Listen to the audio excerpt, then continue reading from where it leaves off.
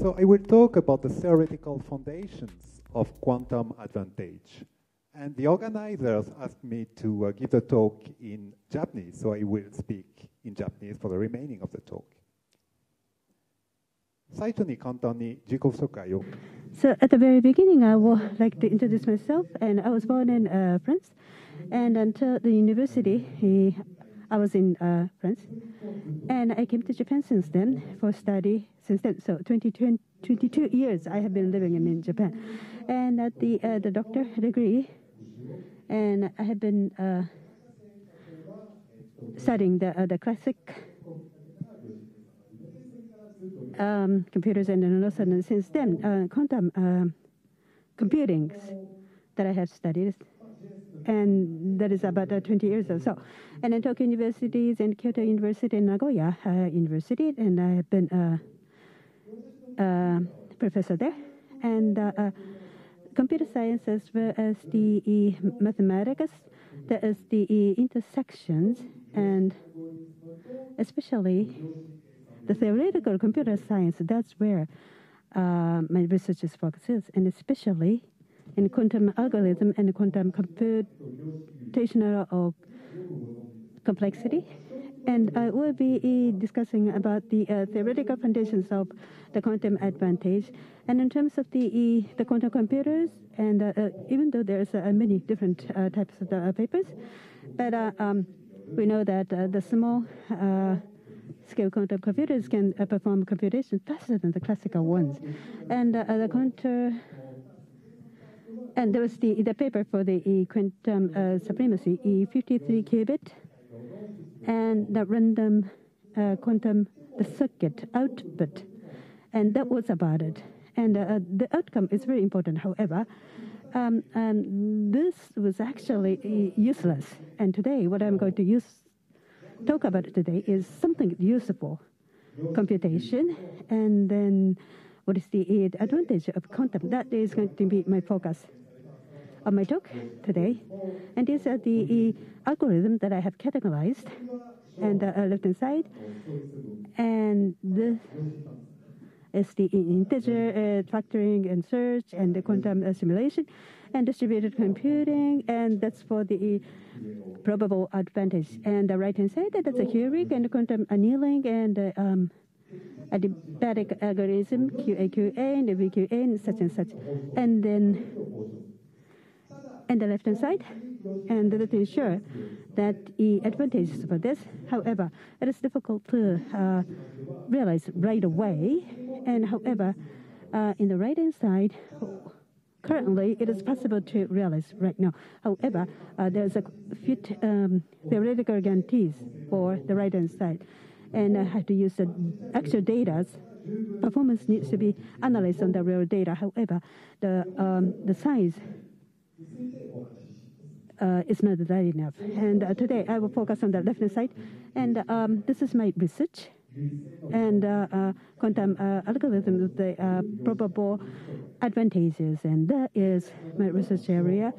And then a generation of the Shor uh, algorithm first, and after that, a quantum algorithm for the uh, algebraic programs and especially matrix uh, multiplication, system of linear equations, and quantum simulation and quantum optimizations. And quite recently, I've started researching a quantum distributed algorithms as well as quantum algorithms for the string uh, problems. And today, and uh, even though there's a, lots of topics, but I will cover each of those, and then I will discuss about the advantage for each of them. And uh, uh, this is the first theme for today, and uh, matrix multiplication. And there is the a problem, uh, which is a compute the uh, product of two n multiple n matrix A and B, and this is one of the important fundamental computational tasks, and uh, trivial classical algorithm complexity BO and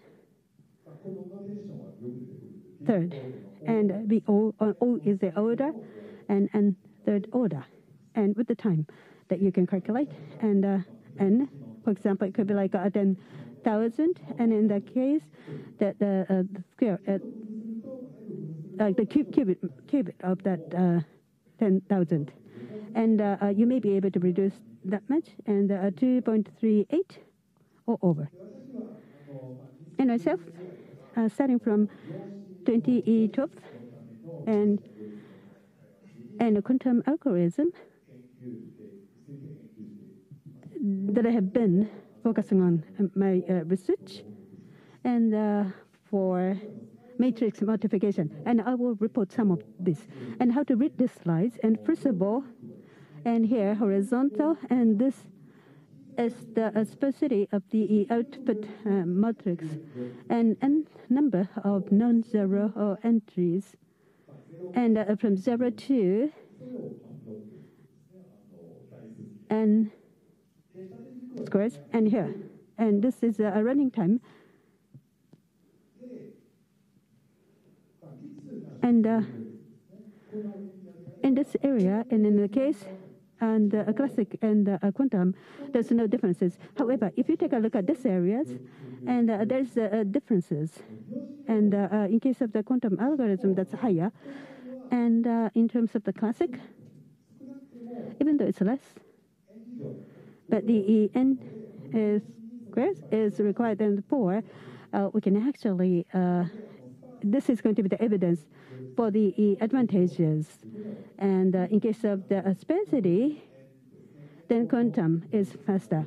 And uh, in n, n of 1.5, and then also in case of a classic, 2.2. So n, if n is bigger in the case, it's going to be drastic speed up. And, uh, and the quantum advantage for the large space uh, matrices and using this outcome, it quantum advantages for the many, uh, the graph, uh, the programs, and that was a successful case that we have achieved. And the next one, this is a HHL algorithm, and this is uh, quite uh, famous. And uh, in terms of the naming, and Harrow and Hassidim and Lloyd, and who actually found this, and that is the reason why it is called HHL. And the problem here is that also the same N A N N N, and there's a technical ones. A sparse and well condition, but you can ignore this. And uh, there's a big B and the four uh, non MS uh, vectors, and that is a given as a quantum uh, state, and there's A, and the B is given as a, quantum state. And, and there's one equation, and that is X, X for the vector B, and A inverse is multiplied with. And the next X bar, and that is, is it normalized and that is going to be E1. And what we would like to do is that X bar is a the quantum state, and that's what we would like to get an appropriate uh, approximation of the uh, quantum state. That's what we're trying to write here. So X here, and A, X equal B, and that is um, one equation, and this is the solution for the one equation. X bar and that is uh, the numerist, and then x bar, and that is the quantum state, and the four, and uh, uh, the purpose is a linear equation solution that we are looking for, and uh, um, what they have came up with, and and there's a quantum algorithm that computes a good approximation of this in time polynomial in log. And uh, all the time is uh, necessary in the solving systems of the linear equations. And therefore, in case of the quantum, and that's uh, exponentially faster. And however, there's one uh, big challenge or issue And the main issue is that the solution is output as a quantum state. That's a problem because in case of the solution for the linear equipment, we want all of them. However, uh, this is going to be the quantum states, and therefore, for the applications, it is not the, uh, easy to find. And HHL, original HHL uh, papers, and that was the uh, applications.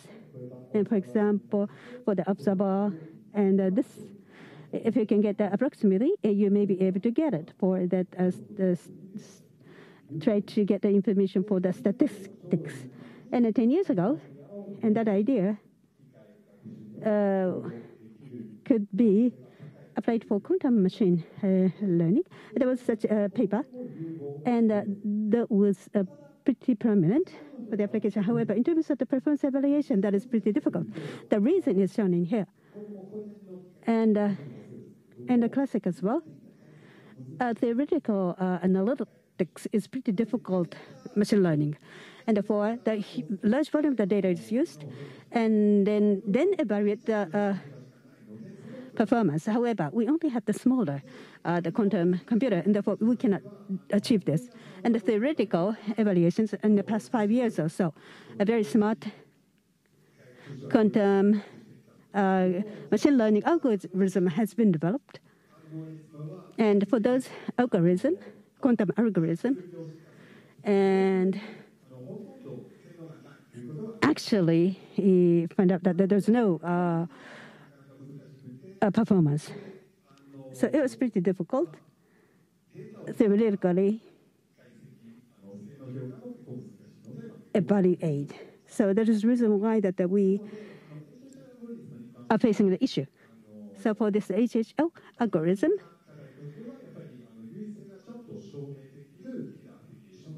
and we think that this is a killer application.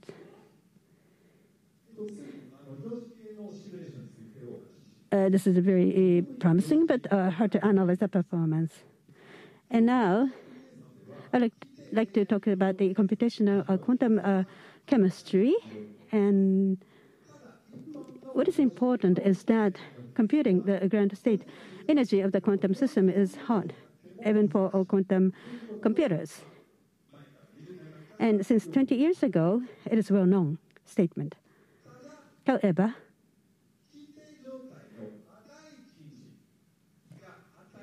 if the, it is given uh, the approximation of the ground states, in that case, the quality quantum computers will be able to um, calculate with high precision efficiently with the quantum computer.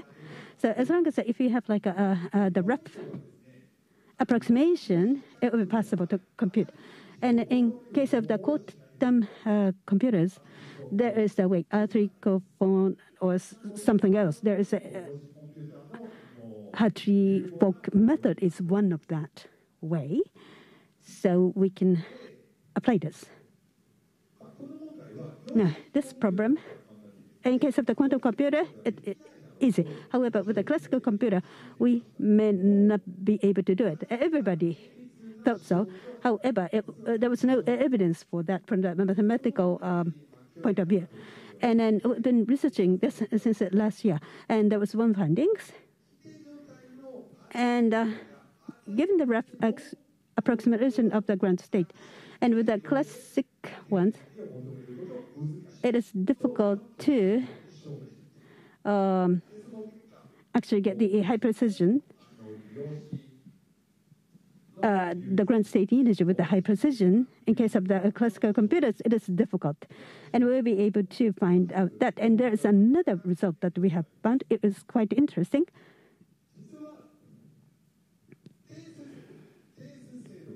And computing the energy with constant precision can be done efficiently even though the classical computers. And therefore, if you combine those two, and in that case, this shows that uh, superiority of the quantum algorithm comes from the improved precision. And if it's a higher precision, and then uh, there's advantage. If it's a lower uh, precision, in that case, there's no advantage. Theoretically, uh, this uh, outcome was quite interesting. And now, this is the next thing. and the quantum optimizations, and there's uh, many of the researchers, and uh,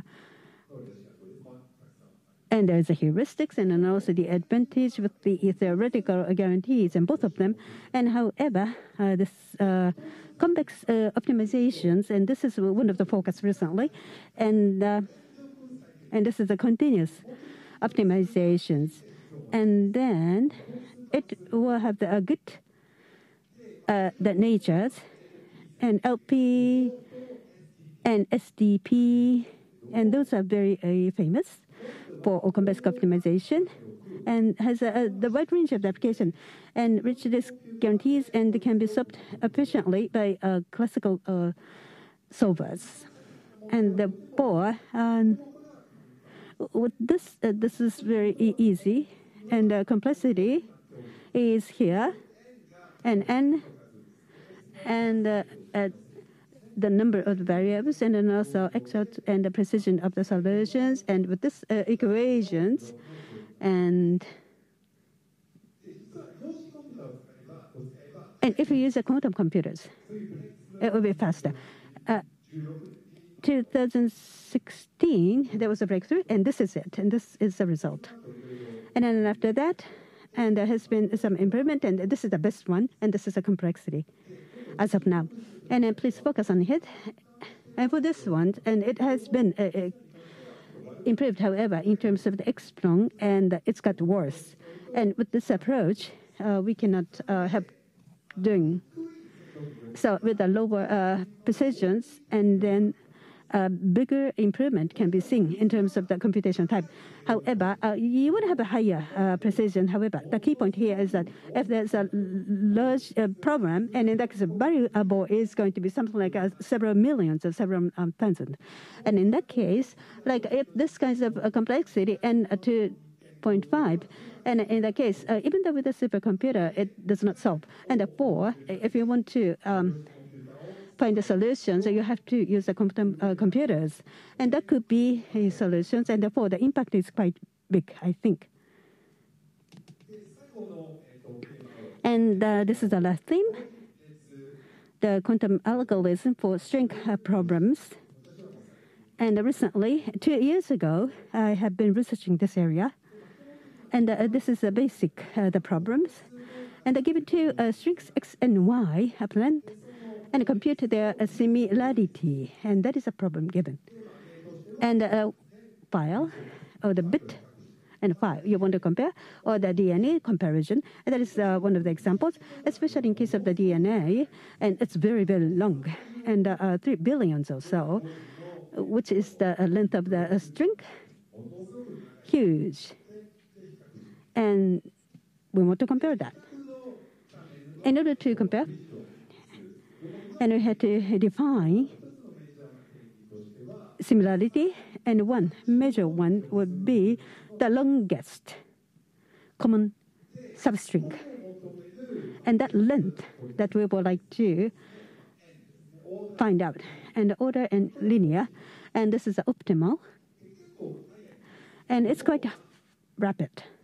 And however, the length is here, so takes time. And recently, and uh, with the researchers, and uh, uh, we're actually researching this. In case of the quantum, it will be enhanced or improved. And the result recently, uh, this year, there was the improvement, and the best is this complexity that we have received quite recently. And therefore, there's advantage in case of a class, and, and it does not go more than uh, n. And therefore, this is with the evidence, and linear n, and n. Um, third, and uh, not exponentially. However, the data itself was uh, quite big, and therefore, I think that that led to the uh, quite big speed up. And therefore, this is quite new topic in quantum algorithm, and I think that, there is going to be some new findings. And at the end, I, I, have talked about the, uh, the, recent trend of this area, and uh, we have to find more applications for the quantum computers, especially more uh, exponential uh, speed ups, and that algorithm needs to be developed. And based on the heuristics, uh, quantum algorithm in that area, with a disk device that needs to be realized. And for those, the advantage of the quantum heuristic algorithm, and for this theme as well, I would like to continue the research. And with this, I would like to conclude. Thank you very much.